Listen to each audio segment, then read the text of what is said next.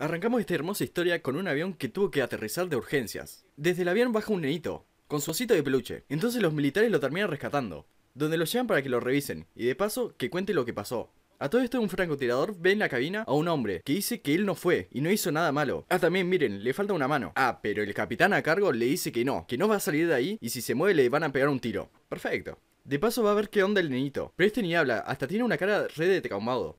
¿Estás bien, nenito? Así nos metemos en la cabeza de él descubriendo todo lo que pasó, pero no sin antes el título de la película. Cielo rojo sangre. Antes de ir al aeropuerto, Elías, sí, el nenito, estaba en su habitación con su mamá. La mamá estaba en el baño poniéndose una peluca, a lo que recibe una llamada. Ahí nos damos cuenta que está enferma, y por lo que vemos de algo grave. Hmm, ¿qué tendrá? Bueno, pero lo importante es que este doctor de acá la va a ayudar, pero para eso necesita viajar donde está el doctor. Por eso mismo nos trasladamos al aeropuerto. En el check-in a la mamá le encuentran unas agujas con su medicación, pero se salva porque dice que toda esa medicación es recetada, pasando así nomás el control, dejando al nenito en un asiento, para irse a medicar. En eso el nenito se pone a hablar con Farid. Hmm, momento, momento, ¿este no es el que le falta el brazo? Pero justo llega la mamá mirando lo raro, diciéndole al niñito que no hable con estacaños. Si un extraño ofrece llevarte, te subes. ¡Malditos traumas de la niña! Así subiendo al avión, conociendo a algunos personajes secundarios. El piloto como el que pilotea, el copiloto, azafata y azafato, y un millonario regil. Bueno, a lo que vamos, el avión empieza a despegar. Y justo ni bien están en el aire, un pasajero se levanta re molesto, donde un par de oficiales intentan tranquilizarlo. Pero, pero, pero... Resulta que todo esto era una trampa. El azafato agarra un cuchillo y mata a uno de ellos. Y le pregunta al que queda con vida dónde está el otro policía. Y cuando finalmente le dicen, lo termina matando. Míralo vos al azafato, nos salió psicópata, ¿no? Bueno, cuestión los secuestradores pasan a todos al fondo. Hasta que llegan a la cabina principal, donde vemos que uno de los cómplices es ni más ni menos que el copiloto, que durmió el piloto para siempre. Una vez en la cabina avisan que quieren nada más plata, y que apoyen las manos en el otro asiento, mientras también estaban hackeando la caja negra, reprogramándola. En eso el nenito tiene la increíble idea de escaparse hasta esconderse en este lugar, donde supuestamente va a ser una zona segura. Mientras agarran y se llevan a Fred, la mamá sale a buscarlo, pero el psicópata se da cuenta de esto, entonces la termina matando. Sinceramente la muerte más rápida de un protagonista que he visto en una película. Luego uno de los secuaces se lleva al nenito calmándolo. ¿Cómo lo vas a calmar si le mandaste la mamá, pibe? Media pila. O bueno, lo intenta hacer. El psicópata revisando el cuerpo encuentra la medicina de la mamá. Y el pelado le dice que no lo vuelva a hacer. Igual para asegurarse de esto le da la pistola a su otro compañero. Así nos metemos en la cabeza de la mamá, apareciendo en una zona nevada, con el auto averiado. Sale a buscar a su esposo, el cual había ido por ayuda, pero no lo encuentra. Lo que sí encuentra es una casa, con todo lleno de sangre, hasta que aparece un bicho raro intentándole atacar, pero se salva por muy poquito, cerrando una puerta. Pero, pero, pero, encuentra a su esposo o lo que queda de él. En eso ve pasar al bicho por la ventana. Entonces se intenta defender, matando al bicho, igualmente recibiendo una mordida. Uh, F la mordida. Igualmente no tan F, porque en la actualidad... Sí, revivió, entonces termina de esconderse en la parte de abajo.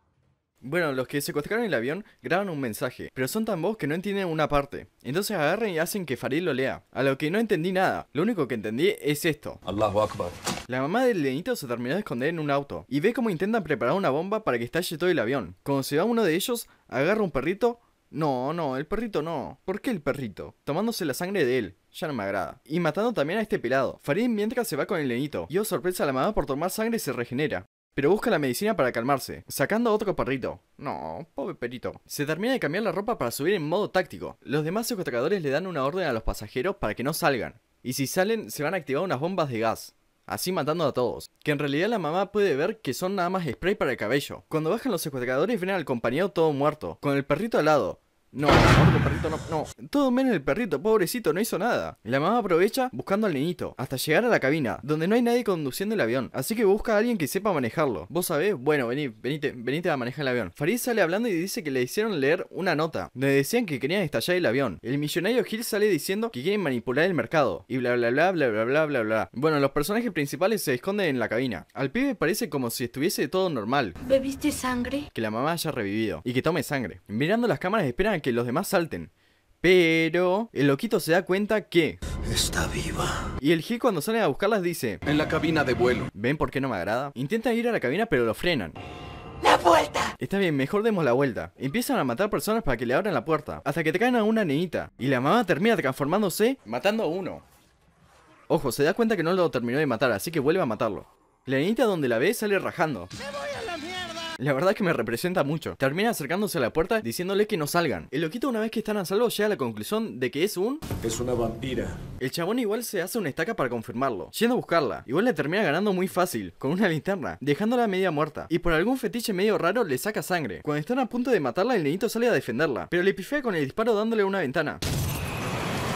Así liberando toda la presión del avión. Todos empiezan a poner una máscara, donde este Gil le roba una máscara a una señora. ¿Ven por qué lo odio? Los otros logran entrar en la cabina, donde empiezan a bajar el avión. El loquito se logra esconder en un auto, inyectándose la sangre. Pero justo lo ve, rompiendo un vidrio y prendiendo los fuego. Pero también justo los compañeros llegan para salvarlo. Igual se lo terminan agradeciendo con una mordida. Los pasajeros mientras tanto se estaban agarrando una pistola y un hacha para terminar con la mamá del pibe. Pero por suerte antes de hacerlo, igual lo intentaron obviamente, pero no pudieron, se dan cuenta que es buena. Entonces el loco intenta entrar con ellos, pero con ayuda de los pasajeros no la dejan pasar. Igual terminan mordiendo a Farid. Obviamente como los vampiros son muy parecidos a los zombies, le terminan cortando la mano. Ojo, viste, tenía razón, era el que le cortaron la mano. Igual también mata a un viejo, que se había transformado en vampiro. Ojo que la vampira va bastante skills. Entonces termina mandando al copiloto para que se comunique e intenta aterrizar el avión. En eso el Gil se estaba muriendo porque lo chocó una nevera. Una nevera de refresco lo chocó. Karma, pibe. Entonces, como lo dije al principio, es Regile. Así que les abre la puerta a todos los vampiros. Para que los muerdan. Igual lo terminan matando. Así terminan mordiendo a todos los pasajeros.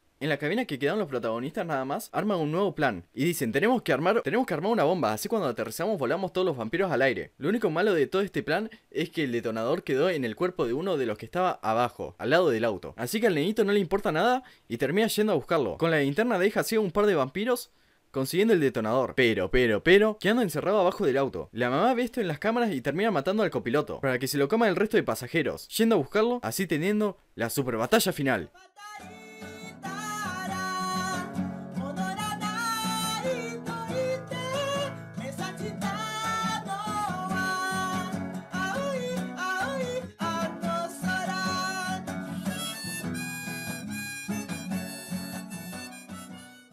Hasta que el nenito le da sangre a su mamá que casi muere. Pero resulta que la mamá revive, pero ya tomó mucha sangre, como para reconocer al pibito. Así que se va, así volviendo al presente, donde dice que rescaten a su amigo Farid. A lo que los militares creen que él es el secuestrador. Así que lo terminan tomando por loco y se lo llevan. Los militares deciden dispararle a Farid, ya que había pasado mucho tiempo, pero le pifiaron el disparo, hasta que terminan entrando llevándoselo, antes que explote todo. Y en eso Elías se lo habían llevado en una ambulancia, donde lo estaban por dormir. Igual lo termina esquivando durmiendo al enfermero, escapándose con su osito. ¡Hasta nunca, putines! En el avión había toda una guerra entre vampiros y militares. Elías se acerca al avión viendo salir a su mamá toda loca, así que saca un detonador del osito, explotando todo el avión con todos los vampiros adentro. Y todo esto termina con Farid siendo liberado, yendo a buscar al leñito para abrazarlo. Oh. Bueno, si te gustó el resumen, ayúdame con una fuerte suscripción y seguime en mis redes sociales. Que en Instagram y Twitter suelo hacer encuestas de la siguiente película. Nos vemos en el siguiente video. Chau chau.